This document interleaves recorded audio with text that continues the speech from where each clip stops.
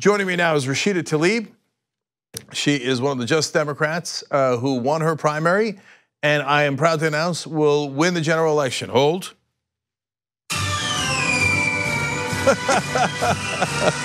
okay, now that seems overly confident, people might think, but uh, Rashida, you're running against no one. Is that correct? Pretty much. Yeah. Yeah, my Republican uh, opponent uh, filled out his paperwork incorrectly, so I don't have a Republican challenger. Yeah. Okay, that's hilarious.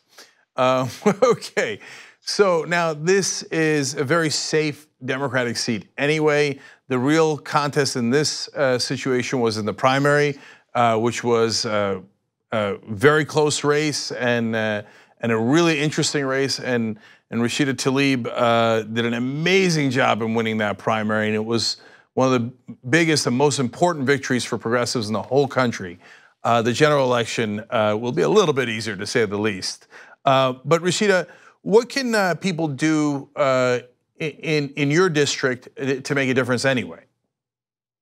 Um, I can tell you in Michigan, we're hoping to pick up three congressional seats uh, three being currently held by uh, Republicans.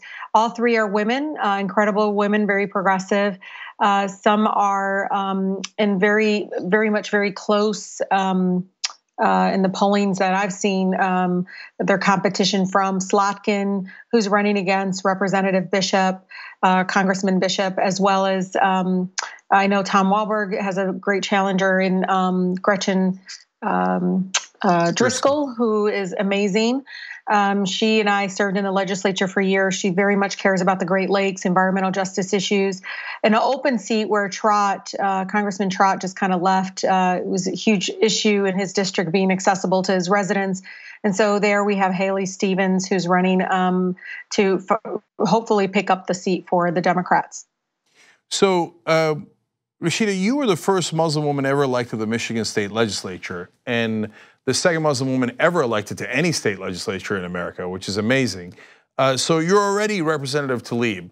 Um, so uh, is it fair if I start calling you Representative Tlaib uh, overall? Just call me Rashida. everybody here in Detroit and, and my district called me Rashida. I'm more of an activist, uh, community organizer.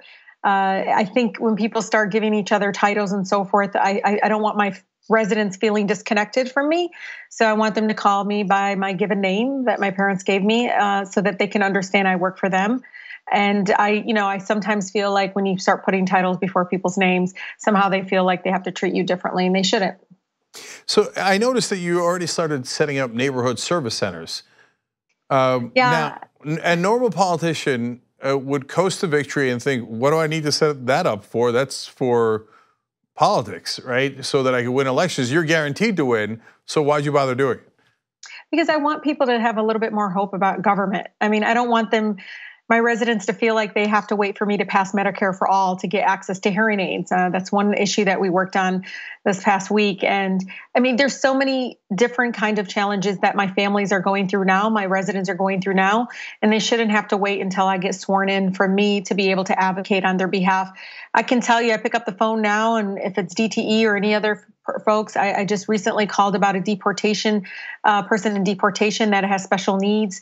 Uh, a lot of the advocacy that I've been able to do, even as a candidate, has been really life changing for many of my residents, and I'll continue doing that. I think bills important and policy are important, but sometimes it doesn't change people's lives immediately. But getting them access to resources and services that they can have now uh, can change their lives immediately. So uh, I remember when Barack Obama was president, he said that if uh, labor rights were ever questioned, especially um, um, negotiating uh, collective bargaining, uh, that he would put his walking boots on. Uh, unfortunately, he never found those uh, walking boots, um, but but you did. and you were recently not only at a rally for labor rights in Detroit, but you got arrested. so, can you tell us a little bit about that?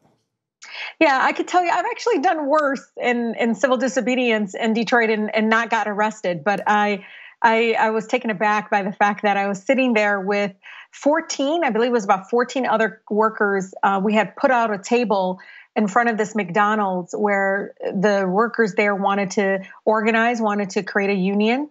Uh, so the whole point was to put a table out on a main street uh, in Woodward Avenue in Detroit and say, hey, we're ready to negotiate a union. Uh, we want to have, you know, job security. Uh, a mother next to me was talking about having her schedule uh, a lot, you know, beforehand, not the day before, so she can take care of her children.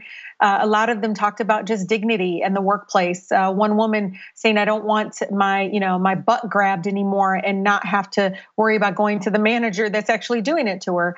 I, in so many ways, the quality of life of many of my residents, and many of them are, you know, underemployed, are in the service industry many of them just want to live with human dignity and i stood there you know sitting there at the table hoping that it would elevate their voices in some sort of way. And yeah, it, it resulted in the police coming and arresting us and saying it was, you know, disorderly conduct. Uh, but again, I got to tell you, I've I've blocked the billionaires' trucks and never got arrested, or even jumped trespassed over, you know, the coke piles to get these samples to get, you know, the show that came. I have no idea if it was because I was you know, there with other labor organizations, but it was still taken aback by the fact that they actually did arrest us this time. Yeah, I mean, but look, you didn't have to uh, risk any of that. You're going to Congress, uh, but but that's I think why you got elected in the first place because you do take those mm-hmm. kind of risks for your constituents. Uh, speaking of which, I mean, in in that case, did they know that you were uh, the future congresswoman from that district, the, the cops who arrested you, or did you get a sense they did not know? I think some did. I can tell you when I got arrested is a great story that nobody asked me about. But I so they pulled me away with a woman named Jasmine. She's a worker, a janitor in the at the airport, and we got pulled up. We were handcuffed in the back of a, a police car, and there was two female police officers that were transporting us to wherever place. And I, I remember, you know, taking this moment thinking, I'm going to educate these police officers or why we were doing this. And I said, Do you know why we were out there? And the first question was, you know, they, were like, no, why? And I said, because there's been a corporate assault on workers. Um, the fact that, you know, this is what's happening in the workplace. Their response was, why don't you just sue them? And I said, how is that going to take care of the systemic problem with what's happening with corporation greed and how it's really. And right away, they turned up the heat on us in the back seat. And I look at Jasmine and I said, did they just put the heat on? Because they trying to shut me up, maybe. I was being as polite as I can be. But it was very funny because then they put the brakes on because I looked at her and I said, I can't wait to tell the chief. Like, I can't believe they just did that. And then they kind of slammed the brakes and I my head kind of hit, hit up against the wall that's between the barrier between me and the officers. And as we continued on, I, I, I knew, you know, obviously they had no idea who I was. I don't think they had any clue because they actually asked if I was from Detroit, like, where are you from? And I said, Detroit. Uh, and then proceeded when I got there, the man that was booking me looks at my license and looks at the form and then looks up again. And he goes, wait a minute. you're, you're, and I said, yes. And he says, well, he puts the pen down and he says, well, congratulations. And then he proceeds to say, and he's a white male, proceeds to say, assalamu alaikum uh, in his accent. And I said, alaikum assalam. But I think at that moment, those two officers are like, oh boy, we didn't know who she was. But I, I like the fact they didn't know. I think it helps me experience what my residents would experience. It's funny, a very, very similar story. When I got arrested in Democracy Spring uh, doing civil disobedience on money in politics, the guy uh, booking me was like, Cenk, you go, wait a minute, you're that young Turk guy. so, uh, anyway, uh, my favorite part of your story was actually uh, a, a, future congresswoman and a janitor getting arrested together. I mean, that's, yeah. that's what we fought for. Uh, so yeah. That's what the Justice Democrats are about. That's what progressives are, are about. And Jasmine actually, you know, said, you know, just meeting you makes me think I could run for office. And I said, absolutely. You don't have to change anything about you or your values or anything. And I think people like us don't run for office enough and don't think that we we deserve to actually seek out these leadership roles or be on the inside fighting from within. So, Rashida, one last thing. Uh, you're also helping your fellow Justice Democrat Ilhan Omar uh, win her seat in Minnesota. Uh, and so, by the way, when we give the links here, and let's put up the links for. Uh, uh, I keep wanting to call you Congresswoman, Rashida's website. And so when you look at the volunteering there, the volunteers are also going to help other Democrats, especially progressive Democrats in Michigan and elsewhere. So uh, please keep volunteering for this race. Anyway, but you're trying to help Ilhan Omar, but that makes no sense. You've got an easy path to become the first Muslim American uh, woman in Congress, and now you're going to bring somebody else along with you, and now there's going to be a whole conversation about who was first. No, I love it. I don't want to be alone. Think about it. I love the fact that Deb Haaland from New Mexico is going to be the first Native American woman. I have these incredible women from one from Connecticut, the first African American woman, Jahana Hayes, and then I have Ayanna Pressley. I mean, there's so many incredible women uh, that are coming to Congress. So I'm not alone. Uh, and these are women. We didn't run because we wanted to be first.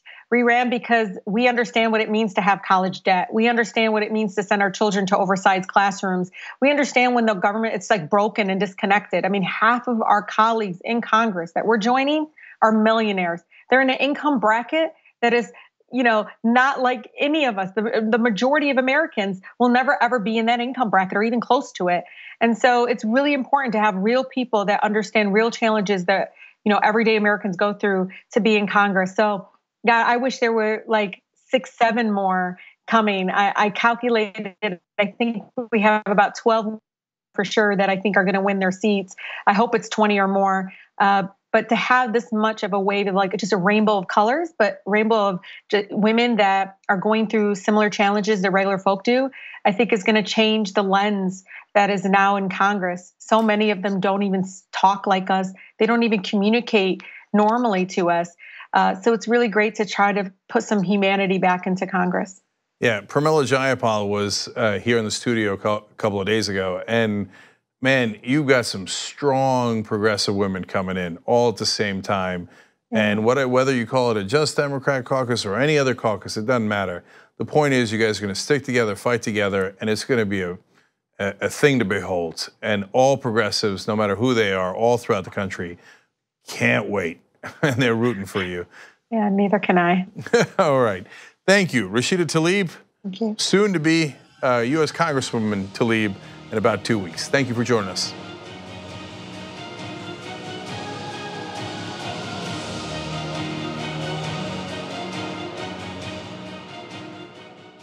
Thanks for watching this free clip of Rebel Headquarters. Don't forget to become a TYT member today for more exclusive content. Join now at tyt.com/join.